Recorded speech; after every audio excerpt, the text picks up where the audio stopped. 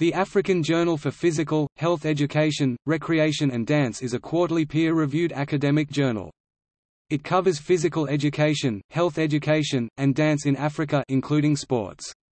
It is published by LAM Publications Nigeria and hosted by African Journals Online.